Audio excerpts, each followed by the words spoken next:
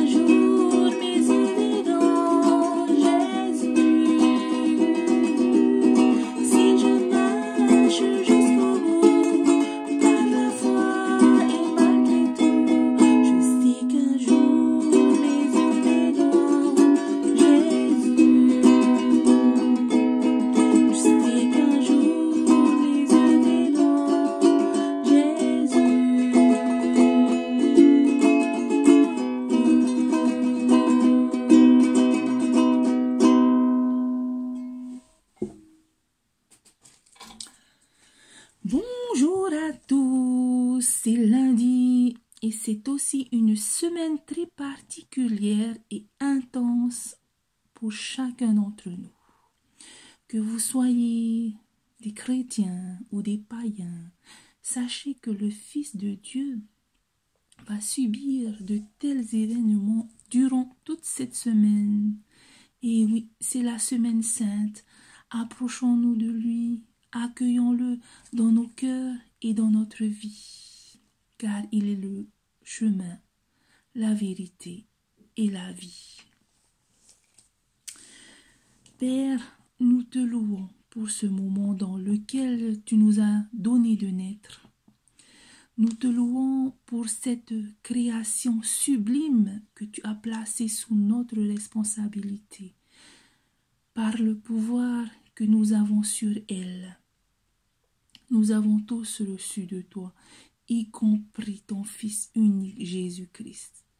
Merci Père pour ton amour et de tout notre cœur, de toute notre âme et de toutes nos pensées. Merci infiniment. À toi la gloire, à toi l'honneur, à toi la puissance, à toi trois fois saint, aujourd'hui et pour l'éternité. Amen. Chers amis, notre lecture de ce matin se trouve dans l'évangile de Jésus selon Matthieu. Matthieu chapitre 14, nous lisons du verset 53 au verset 65. Le Jésus devant le conseil juif. Ils emmenèrent Jésus chez le grand prêtre, où se rassemblèrent tous les chefs des prêtres, les anciens et les spécialistes de la loi. Pierre le suivit de loin jusqu'à l'intérieur de la cour du grand prêtre. Il s'assit avec les serviteurs et il se chauffait près du feu. Les chefs des prêtres et, tous les sanédrins cherchaient un témoignage contre Jésus pour le faire mourir et ils n'en trouvaient pas. Beaucoup rendaient en effet de faux témoignages contre lui, mais les témoignages n'étaient pas concordants. Quelques-uns se levèrent et portèrent un faux témoignage contre lui en disant Nous l'avons entendu dire Je détruirai ce temple fait par la main de l'homme, et en trois jours j'en construirai un autre qui ne sera pas fait de main d'homme. Même sur ce point-là, leur témoignage ne concordait pas. Alors le grand prêtre se leva au milieu de l'assemblée et interrogea Jésus en disant Ne réponds-tu rien? Pourquoi ces gens témoignent-ils contre toi Mais Jésus gardait le silence et ne répondit rien. Le grand prêtre l'interrogea de nouveau et lui dit Es-tu le Messie? Le Fils de Dieu béni Jésus répondit Je le suis. Et vous verrez le Fils de l'homme assis à la droite du, Tout-Puissant et venant sur les nuées du ciel. Alors le grand prêtre déchira ses vêtements et dit Qu'avons-nous encore besoin de témoins? Vous avez entendu le blasphème, qu'en pensez-vous? Tous le condamnèrent, déclarant qu'il méritait la mort. Quelques-uns se mirent à cracher sur lui, à lui mettre un voile sur le visage, à le frapper à coups de poing en lui disant Devine. Même les serviteurs le frappaient en lui donnant des gifles. Quelques-uns se mirent à frapper, à cracher sur lui, à lui voiler le visage et à le frapper à coups de poing en lui disant Devine, même les serviteurs le frappaient et lui donner des gifles. Chers amis, dans la vie, nous passons tous par des moments, des sales quarts d'heure au plus.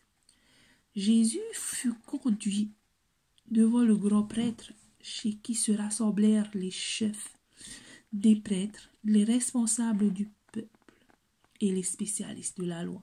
Alors, le grand prêtre déchira ses vêtements en signe de consternation.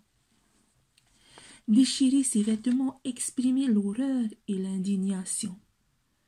Ce geste exigeait du grand prêtre chaque fois qu'il entendait une insulte contre Dieu, c'est aussi le grand prêtre déclare donc que Jésus a blasphémé. C'est un soulagement pour lui, car après la réponse de Jésus, il n'y est plus nécessaire de chercher de faux témoins. Ouf Les religieux ont eu chaud, mais maintenant ils respirent. Ils sont soulagés à leurs yeux. Les dés sont désormais jetés. Et l'affaire va pouvoir se régler en deux temps, en trois mouvements. On lui crache alors au visage ce qui est une grossière insulte personnelle. Mais devant leur outrage, Jésus garde à nouveau le silence, accomplissant ainsi une prophétie que je cite. On l'a frappé et il s'est humilié, il n'a pas dit un mot. Semblable à un agneau mené à l'abattoir, tout comme les brebis muettes devant ceux qui l'attendent. Il n'a pas dit un mot. Beaucoup d'autres prophéties sont en train de s'accomplir. Et Jésus n'a pas seulement porté nos péchés, mais il a subi tout le jugement contre le péché, la racine terrible des péchés, et jusqu'à accepter une chose effroyable d'être abandonné par Dieu lui-même dans ces heures accablantes d'intenses souffrances. Chers amis, qu'il en soit ainsi, afin que Dieu puisse nous pardonner nos fautes. Mais en retour, nous devons aussi pardonner à ceux qui nous offensent, même les crimes les plus vicieux. Venez et plaidons, dit l'Éternel, si vos péchés sont comme le cramoisi, ils deviendront blancs comme la neige. S'ils sont rouges comme, le comme la pourpre, ils deviendront comme la laine. Cela que nos péchés, qui sont comme le cramoisi, et qui sont rouges comme la pourpre, qu'ils deviennent blancs comme la neige et comme la laine. Chers amis, c'est sur ces mots-là que je voudrais terminer, tous en vous souhaitant une très très très bonne journée et que Dieu vous bénisse. Il est dit que vous êtes la lumière du monde et que votre lumière brille devant les hommes afin qu'ils voient votre belle manière d'agir et qu'ainsi ils célèbrent la gloire de votre Père céleste. Que Dieu vous bénisse.